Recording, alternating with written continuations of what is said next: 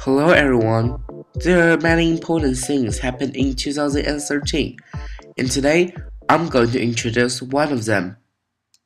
The 2013 Nobel Prize in Physiology or Medicine.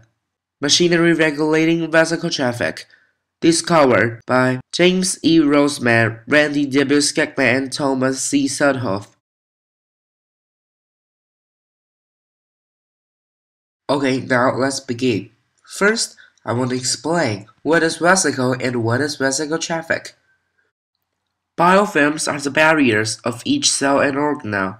It makes them confirm that some important events are happening in a relative closed space, so they produce a process of exchanging substance between cells and organelles.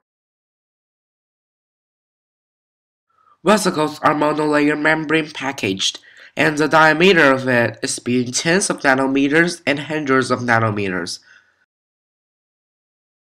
The responsibility of vesicles is handle those substance exchanging between those membranous organelles, and this was called vesicle traffic.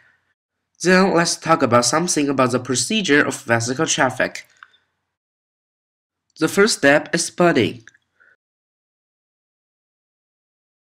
The substance that need to be exchanged go near the membrane. And then a part of the membrane get out from the cell and become a vesicle.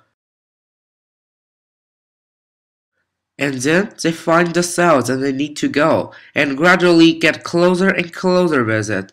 This was called docking. After confirmed the cell, the final step is fusion.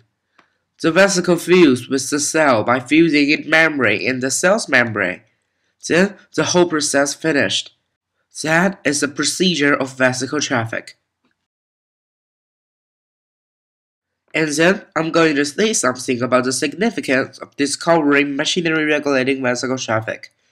In another way, why this discovery can get the 2013 Nobel Prize. I think this can help us to understand the basic of those events that are happening in cells. If organisms don't have this system, they can't make their life, cause cells and organelles can't exchange those substance. Figuratively, if the transportation system is paralyzed, the city will be paralyzed soon. So, that makes sense.